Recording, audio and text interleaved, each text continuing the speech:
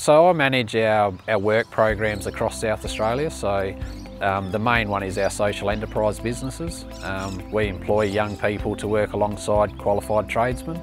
Um, most of our tradesmen are all carpenters, so we do a lot of construction work, a lot of cabinet making work, take on commercial work and the, the young people are paid in a, a, real commercial sense so the best way to learn something is to do it we believe so um, and then we also run work for the dole programs um, through the, the federal government policy there so that's generally more horticultural based programs um, so I manage those as well. Before this I was doing absolutely nothing so I feel a lot better knowing that I'm actually doing something now and then hopefully this will lead to another job. It's helped me a lot. I've built my confidence so much, like I feel that within myself. Get along with more people, learn how people's skills, you know, and yeah, I feel like more confident in the work game.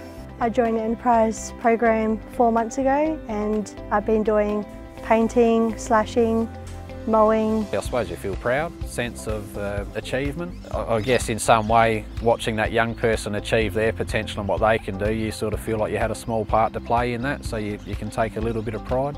I'd say definitely join the yourtown program, you learn a lot. Okay Brody, you got that down to 600 deep?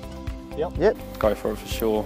We're really lucky to be able to work with a, a place like yourtown and I think our communities are lucky to have a, a company that will put money back into them the way that they do. I think there's a lot of young people that just need a chance, just need someone to give them that first go and obviously enter the workforce. Once you're in the workforce and you're starting to learn, you can expand, but getting that first shot's always difficult. Just thank you, helping me out, um, learning new skills, great opportunity.